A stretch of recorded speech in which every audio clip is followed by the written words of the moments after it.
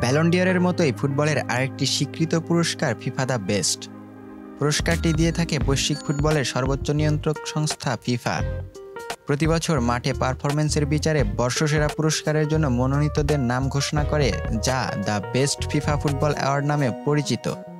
চলতি বছরের, অর্থাৎ দু হাজার বাইশ সালের বর্ষসেরা পুরস্কার দেওয়ার তারিখ ঘোষণা করেছে ফিফা।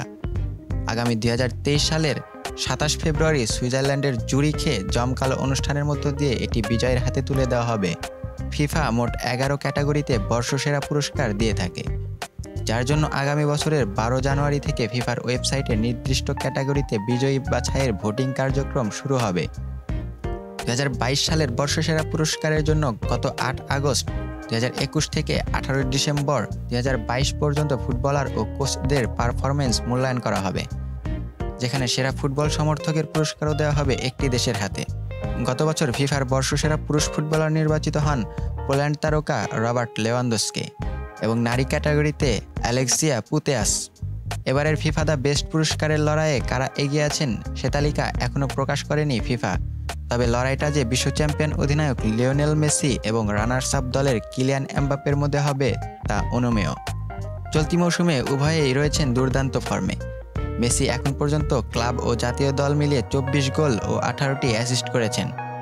পুরো বিশ্বকাপেও ছিলেন দুর্দান্ত। সাত ম্যাচ থেকে সাত গোল করেছেন এবং সতীর্থদের দিয়ে করিয়েছেন তিন গোল। ফাইনাল সহ ম্যাচ সেরা হয়েছেন পাঁচ ম্যাচে। টুর্নামেন্টে দুর্দান্ত খেলায় জিতেছেন গোল্ডেন বলের শিরোপাও। ফুটবলের ইতিহাসে তিনিই প্রথম ব্যক্তি যিনি কিনা দুইবার এ শিরোপা জয় করেছেন। এর আগে দুই বিশ্বকাপেও গোল্ডেন বলের শিরোপা লাভ করেন মেসি। ফলে তাকে ফিফা দ্য বেস্ট পুরস্কার পেতে অনেকটা এগিয়ে রাখছেন বোদ্ধারা। দু হাজার ষোলো থেকে ফিফা আলাদাভাবে এ পুরস্কারটি দিচ্ছে।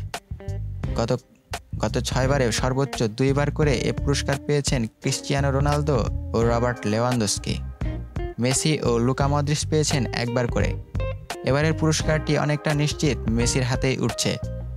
যদি না, অন্য কোনো সমীকরণ সামনে না আসে। তিনি যদি এবারের পুরস্কার জেতেন, তাহলে তৃতীয় ফুটবলার হিসাবে ডাবল জিতবেন। মেসিকে টেক্কা দেওয়ার জন্য বড় প্রতিপক্ষ হিসেবে রয়েছেন ফুটবল বিশ্বকাপের রানার্স আপ ফ্রান্সের এমবাপ্পে। তিনিও চলতি মৌসুমে দুর্দান্ত ফর্মে রয়েছেন। এখন পর্যন্ত ক্লাব ও জাতীয় দল মিলিয়ে আঠাশ গোল ও সাত অ্যাসিস্ট করেছেন। পুরো বিশ্বকাপেও ভাবে ছিলেন দুর্দান্ত। ফাইনালে হ্যাট্রিক সহ সাত ম্যাচ থেকে করেছেন আট গোল ও করিয়েছেন দুই গোল। আর ম্যাচ সেরা হয়েছেন চারটিতে। টুর্নামেন্টে সর্বোচ্চ গোল করায় জিতেছেন গোল্ডেন বুটের শিরোপা।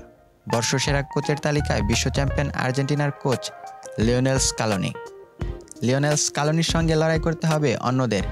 বর্ষসেরা গোলরক্ষকের জন্য প্রতিযোগিতা করবেন বিশ্বকাপে গোল্ডেন গ্লাভ জয়ী আর্জেন্টিনার অ্যামিলিয়ানো মার্টিনেজ। বর্ষসেরা ফ্যান অ্যাওয়ার্ডের ক্ষেত্রে অনেকটাই এগিয়ে জাপানের সমর্থকরা। উল্লেখ্য, দুই হাজার সতেরো সালে ফ্রেঞ্চ ফুটবল ম্যাগাজিন প্রদত্ত ব্যালন্ডিয়র থেকে আলাদা হয়ে যায় ফিফা। এরপর থেকে প্রতি বছর দ্য বেস্ট অ্যাওয়ার্ড দিচ্ছে তারা।